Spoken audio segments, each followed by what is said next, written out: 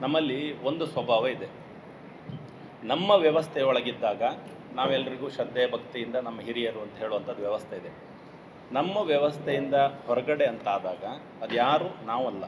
ನಾನೇ ನಾಳೆ ಹೊರಗೆ ಅದಕ್ಕೆ ಆ ವ್ಯವಸ್ಥೆಯಿಂದ ಹೊರಗೆ ಹೋಗ್ಲಿಕ್ಕೆ ನಮ್ಮಲ್ಲಿಲ್ಲ ನಮ್ಮಲ್ಲಿ ಅಲ್ಲಿಂದ ಇಲ್ಲಿವರೆಗೆ ಹತ್ತಾರು ವರ್ಷದಿಂದ ಇದೇ ಹಿರಿಯರು ಕಟ್ಟಿಟ್ಟ ಪಕ್ಷ ಇದು. ಅದಕ್ಕೆ ತೊಂದರೆ ಆಗಬಾರ್ದು. ಸೊ ಆ ಕನ್ಫ್ಯೂಷನ್ ಯಾರಿಗೂ ಇಲ್ಲ ನಮ್ಮ ಜೊತೆಗೆ. ಅದು ಯಾವುದು ಸಹಿತ ನಮ್ಮ ಕೈಯೊಳಗಿರುವಂಥದ್ದಲ್ಲ. ಬಟ್ ನಮ್ಮ ಕಾರ್ಯಕರ್ತರ ಸ್ಪಷ್ಟತೆ ಗಟ್ಟಿ ಇದೆ. ಅವರಲ್ಲಿ ಯಾವ ವ್ಯವಸ್ಥೆ ವ್ಯತ್ಯಾಸ ಇಲ್ಲ. ಉದಾಹರಣೆಗಳು ನಡ್ಕೊಂಡು ಹೋಗಿದೆ. ತುಂಬ ಜನ ಹೊರಗೆ ಹೋಗೋದು ಹೊರಗೆ ಹೋದ ತಕ್ಷಣ ಅವರದಲ್ಲಿ ಏನೋ ಒಂದು ಜೀವನದಲ್ಲಿ ಅನುಭವ ಮಾಡೋದು ಮತ್ತು ವಾಪಸ್ ಬರೋದು ನಡೆದಿದೆ. ನಮ್ಮ ಗೌರವ ಯಾವಾಗ ಕೇಳಿದರೆ ಬೈಂದೂರು ಇತಿಹಾಸದಲ್ಲಿ ಇರೋದು ಅವರು ವ್ಯವಸ್ಥೆ ಒಳಗಿದ್ದಾಗ. ಸೊ ಹೊರಗಡೆ ಯಾವ ವಿಷಯಕ್ಕೂ ನಾವು ರೆಸ್ಪಾಂಡ್ ಮಾಡೋದು ಇಲ್ಲ. ನಾವು ಯಾವುದೇ ನಮ್ಮಲ್ಲಿ ವ್ಯತ್ಯಾಸವೂ ಆಗುವುದಿಲ್ಲ. ಇಷ್ಟು ಮಾತ್ರ ಹೇಳಬಲ್ಲೆ. ಹೇಳಿದ್ರೆ ಏನಿಲ್ಲ ಬಿ ಜೆ ಪಿ ವೋಟರ್ಸ್, ಅವರು ಬಿ ಜೆ ಪಿಯವ್ರು ಸ್ವಲ್ಪ ನಿಧಾನ ನಡ್ಕೊಂಡು ಹೋದ್ರೆ ಕರೆದು ಜೋರು ಮಾಡ್ತಾರೆ. ಏನು ಬಿ ಜೆ ಪಿಯವರಿಗೆ ಇನ್ನೂ ಜೀವ ಬರಲಿಲ್ಲ ಓಡಿ ಅಂತೇಳಿ ಹೇಳಿ. ಸೊ ಜನರೇ ಸ್ಪಷ್ಟ ಬಿ ಜೆ ಪಿ ಅಂತೇಳಿ ಇರುವಾಗ ಆ ಕನ್ಫ್ಯೂಷನ್ಗಳು ಯಾವುದೂ ನಮಗೆ ನಾಟುವುದಿಲ್ಲ. ಅಲ್ಲಿ ಒಂದು ಹಿಂದಿನಿಂದ ಸಂಘ ಪರಿವಾರದ ರೀತಿಯಲ್ಲಿ ಒಂದು ಒಳ್ಳೆಯ ಒಂದು ರಚನೆ ಇದೆ. ಆ ರೀತಿಯಲ್ಲಿ ಎಲ್ಲ ತಂಡಗಳು ಕೂತು ಯೋಚನೆ ಮಾಡಿ, ಇಡೀ ಬೂತ್ ಬೂತ್ಗೆ ಬೇಕಾದ ಸಮಿತಿಗಳನ್ನು ಮಾಡಿ, ಎಲ್ಲ ನಾಯಕರನ್ನು ಇನ್ವಾಲ್ವ್ ಮಾಡಿಕೊಂಡು ಸಂಘಟಿತವಾಗಿ ಹೊರಟಿದ್ದೇವೆ.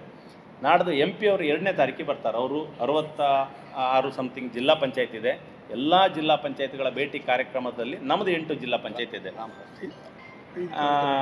ನಮ್ಮಲ್ಲಿ ಮಹಾಶಕ್ತಿ ಕೇಂದ್ರ ಅಂತ ಹೇಳ್ತೇವೆ. ನಾವು ಎಂಟು ಮಹಾಶಕ್ತಿ ಕೇಂದ್ರಗಳಿಗಿದೆ. ಬೆಳಿಗ್ಗೆ ಒಂದು ಪೂಜೆ ಇದೆ. ಒಟ್ಟು ಅದನ್ನೆಲ್ಲ ಕಡೆಯಲ್ಲಿ ಕಾರ್ಯಕ್ರಮ ಜೋಡಿಸ್ತಿದ್ದೇವೆ. ಇದು ಅವರ ಪ್ರವಾಸ.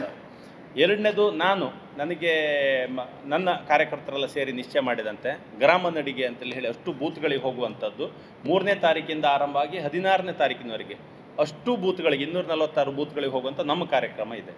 ಅದಾದ ನಂತರ ಈಗಾಗಲೇ ನಾವು ನರೇಂದ್ರ ಮೋದಿಯವರ ಕಾರ್ಯಕ್ರಮ ಶಿವಮೊಗ್ಗದಲ್ಲಿ ಯಶಸ್ವಿಯಾಗಿ ಹೋಗಿ ಬಂದಿದ್ದೇವೆ. ನಂತರ ರಾಷ್ಟ್ರೀಯ ನಾಯಕರದೊಂದು ಕಾರ್ಯಕ್ರಮ ನಮಗೆ ಆಶೆ ಇದೆ. ಅದು ಯಾರಾದರೂ ಒಬ್ಬರು ಸಿಗಬೇಕು ಅಂತೇಳಿ ಒಂದು ದೊಡ್ಡ ಸಮಾವೇಶದ ಯೋಚನೆಯಲ್ಲಿದೆ. ಸಂಘಟನಾತ್ಮಕ ಪ್ರಯತ್ನಗಳನ್ನು ಹೆಚ್ಚು ಮಾಡ್ತಾ ಹೋಗುವಂಥ ಯೋಚನೆಯಲ್ಲಿದ್ದೇವೆ. ಒಟ್ಟು ಕಾರ್ಯಕರ್ತರಲ್ಲಿ ಹೇಳಿದೆ ಅಲ್ಲ, ಬರೀ ರಾಜಕಾರಣಕ್ಕಿಂತ ಒಂದು ಶ್ರದ್ಧೆ ಇದೆ, ಭಕ್ತಿ ಇದೆ. ಈ ಸರ್ತಿ ಚುನಾವಣೆ ನಮಗೆ ವಿಶೇಷ ಅನ್ನೋದು ನಮಗೆ ಸ್ಪಷ್ಟ ಗೊತ್ತಿದೆ. ಅದು ದೇಶದ ದೃಷ್ಟಿಯಿಂದನೂ ಹೌದು, ಬೈಂದೂರಿನ ದೃಷ್ಟಿಯಿಂದನೂ ಹೌದು ಅಂತೇಳಿ ಹೇಳಿ. ಮೊದಲನೇದು, ನಾವು ಗ್ಯಾರಂಟಿಯನ್ನು ವಿರೋಧಿಸೋದಿಲ್ಲ ನೀವು ಬಡವರಿಗೆ ಎಷ್ಟು ಫೆಸಿಲಿಟಿ ಕೊಡ್ತೀರಿ, ಅದನ್ನು ಜಾಸ್ತಿ ಕೊಡಿ ಮತ್ತು ಅದನ್ನು ಬೇಗ ಕೊಡಿ ಅಂತ ಹೇಳುವವ್ರು ನಾವು. ಐದು ಗ್ಯಾರಂಟಿ ಇದೆಯಲ್ವಾ, ಅದನ್ನು ಹತ್ತು ಬೇಕಿದ್ರೂ ಮಾಡಿ ಬಡವರಿಗೆ ಕೊಡಿ, ಅದು ಭಾರಿ ಸಂತೋಷ. ಆದರೆ ಅದನ್ನು ಆಶೆ ರೀತಿಯಲ್ಲಿ, ಡಿಮಾಂಡ್ ರೀತಿಯಲ್ಲಿ ಮಾಡಬೇಡಿ ಅಂತ ನಾವು ಹೇಳೋದು.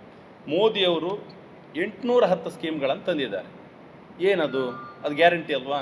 ಎಂಟುನೂರ ಹತ್ತು ಓದಿ ಹೇಳಲಿಕ್ಕೆ ಆಗೋದಿಲ್ಲ ಅಷ್ಟೇ. ಯಾರೋ ತೊಂದರೆಯಲ್ಲಿದ್ದಾನೆ, ಅವನಿಗೆ ಆಯುಷ್ಮಾನ್ ಸಿಕ್ತು, ರೈತ ತೊಂದರೆಯಲ್ಲಿದ್ದಾನೆ, ಬಿ, ಫಸಲ್ ಬಿಮಾ ಸಿಕ್ತು, ರೈತನಿಗೆ ಏನಾದರೂ ಬೇಕು, ಕೃಷಿ ಸಿಂಚಾಯಿ ಸಿಕ್ತು, ಇಂಥದ್ದು ಎಂಟುನೂರ ಹತ್ತಿದೆ ಯಾರು ಹೇಳ್ತಾ ಹೋಗೋದು?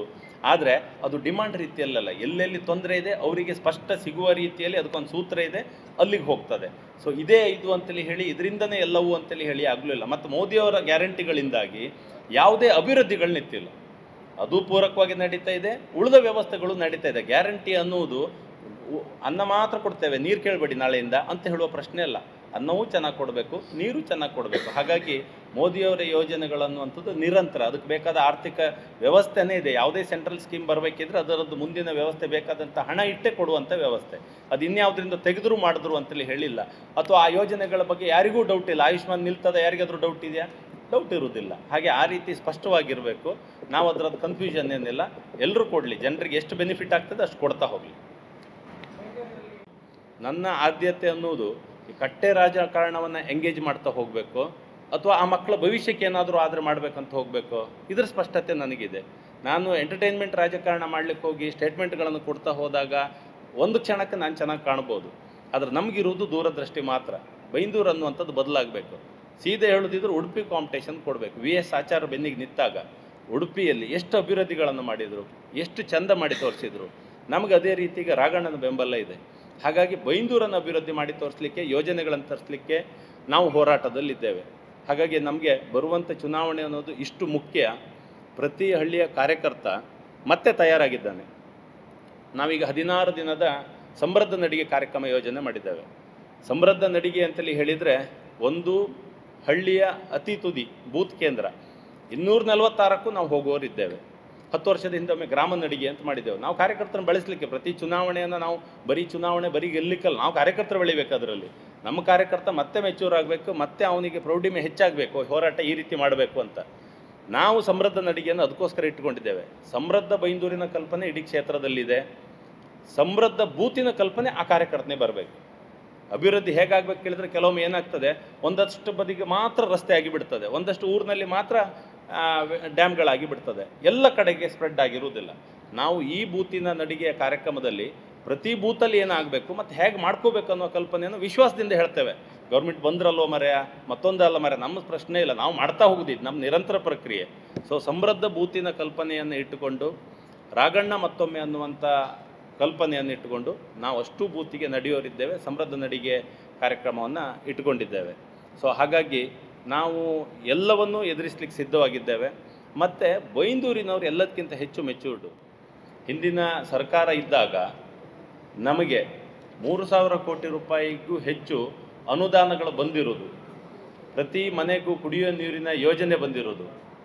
ಹೈವೇಗಳು, ಬ್ರಿಡ್ಜ್ಗಳು, ವೆಂಟೆಡ್ ಡ್ಯಾಮ್ಸು ಪ್ರತಿ ಗ್ರಾಮಕ್ಕೂ ರಸ್ತೆ ರಸ್ತೆ ರಸ್ತೆ ಅಂತೇಳಿ ಹೇಳಿ ತುಂಬ ರಸ್ತೆಗಳು ಆಗಿರೋದು. ಇದೆಲ್ಲವೂ ಸಹಿತ ಬೈಂದೂರಿನ ಇತಿಹಾಸದಲ್ಲಿ ಯಾರಾದರೂ ಲೆಕ್ಕ ತೆಗೆದು ಹೇಳೋದಿದ್ರೆ ಯಾವ ಕಾಲದಲ್ಲಿ ಕೇಳಿದರೆ ಹಿಂದಿನ ಕಾಲದಲ್ಲಿ. ಇದಕ್ಕೆಲ್ಲ ಯಾರು ಕಾರಣರು ಕೇಳಿದರೆ ಅದರ ಬೆನ್ನಿಗಿರುವಂಥವ್ರು ನಮ್ಮ ಸಂಸದರಾದಂಥ ರಾಘವೇಂದ್ರರು. ಅವರಿಂದಾಗಿ ಇಷ್ಟೆಲ್ಲ ಸಾಧನೆಗಳು ಆಗಲಿಕ್ಕೆ ಸಾಧ್ಯ ಆಯಿತು. ನಿಮಗೆ ಯಾರದೋ ಸರ್ಕಾರ ಇರ್ತದೆ, ಬೈಂದೂರು ಎಂ ಎಲ್ ಅವ್ರು ಹೋಗಿ ಕೇಳ್ತಾ ಇರ್ತಾರೆ, ಅಲ್ಲಿ ತಕ್ಷಣ ಆಯಿತು ಅಂತೇಳಿ ಹೇಳಿದರೆ ಅದು ಪೂರ್ತಿ ಸತ್ಯ ಆಗಿರುವುದಿಲ್ಲ. ಆದರೆ ಸಂಸದರಾದಂಥ ರಾಘವೇಂದ್ರರು ಇದು ಯಡಿಯೂರಪ್ಪರ ಕ್ಷೇತ್ರ ಅನ್ನುವಂಥ ದೃಷ್ಟಿಯಿಂದ ಬೆಂಗಳೂರಿನಲ್ಲಿ ಅಧಿಕಾರಿಗಳ ಸಭೆ ಕರೆದು, ಬೈಂದೂರಿಗೆ ಇಂತಿಂಥದ್ದು ಆಗಬೇಕು ಅಂತ ಹೇಳಿದಾಗ ಅವರು ಇಟ್ಟ ಪಟ್ಟಿ, ಕೊಟ್ಟಂಥ ಲಿಸ್ಟ್ ಹಿಂದೆ ಬಿದ್ದದ್ದು ಕಮ್ಮಿ. ನಮಗೆ ಮಾಡ್ಕೊಳ್ಳಿಕ್ಕಾಗಲಿಲ್ಲ ಏನೋ ಅನ್ನುವಷ್ಟು ಕೆಲಸಗಳು ಹಿಂದಿನ ಸರ್ತಿ ಬಂದಿದೆ. ಮೊನ್ನೆ ಒಂದೆರಡು ಕಡೆಗಳಲ್ಲಿ ಬಹಿಷ್ಕಾರ ನಮ್ಮ ರಸ್ತೆ ಅಭಿವೃದ್ಧಿ ಆಗಲಿಲ್ಲ ಅಂತೇಳಿ ಹೇಳಿ ಒಂದಷ್ಟು ಕಡೆ ಹಾಕಿದ್ರು. ಕೆಲವು ಕಡೆ ಭೇಟಿ ಕೊಟ್ಟಿದೆ. ಒಂದು ಗ್ರಾಮದಲ್ಲಿ ಭೇಟಿ ಕೊಟ್ಟಾಗ ಮೊದಲು ನಮ್ಮ ಕಾರ್ಯಕರ್ತರು ಕೇಳಿದೆ, ಯಾಕೆ ಈ ಎರಡು ರಸ್ತೆ ಬಾಕಿ ಇತ್ತು? ಅಂತ. ತಾಯಂದ್ರೆಲ್ಲ ಬಂದಿದ್ರು, ಅವ್ರು ಹೇಳ್ತಾ ಇದ್ರು, ನೀವು ಮಳೆಗಾಲದ ಬನ್ನಿ, ಇಲ್ಲಿ ನಡುಕಾತಿಲ್ಲ ಕಾಲ್ಪುರ ಹುಕ್ಕ ಹೊತ್ತ ನೀವೆಲ್ಲ ಓಟ್ ಕೇಣ್ಕ ಹೋತ್ರಿ, ಎಲ್ಲ ಬೈದರು.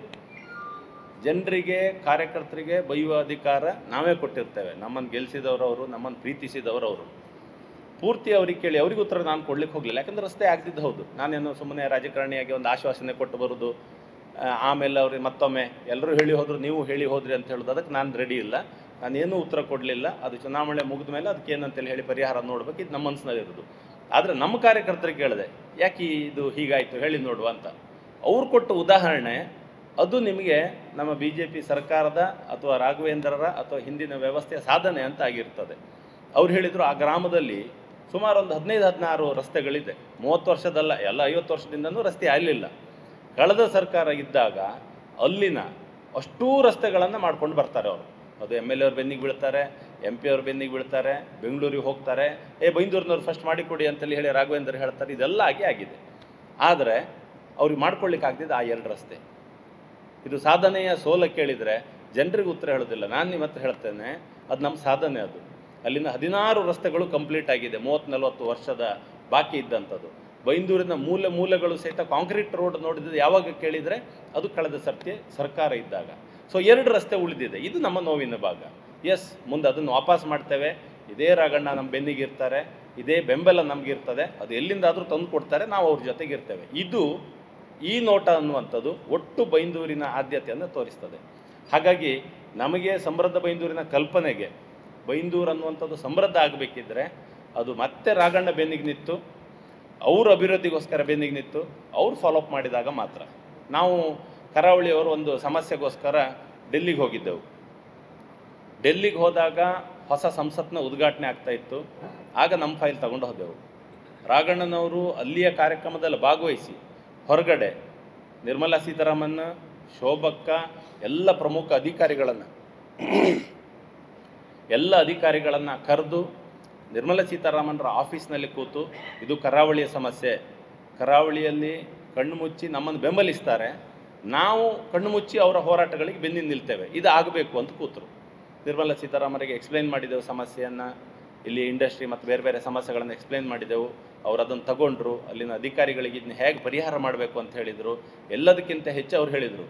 ನೀವು ಮಾಡದೇ ಇದ್ದರೆ ಈ ರಾಗು ನನ್ನ ಬೆನ್ನಿಗೆ ಬೀಳಲ್ಲ ಮತ್ತು ನನಗೂ ಕೂತ್ಕೊಳ್ಳಿ ಬಿಡೋದಿಲ್ಲ. ಫಸ್ಟ್ ರಾಘವೇಂದ್ರಿಗೆ ಉತ್ತರ ಕೊಡಿ ಅಂತ ಹೇಳಿದರು. ಸೊ ನಾನು ಹೇಳ್ತಾ ಇರುವುದು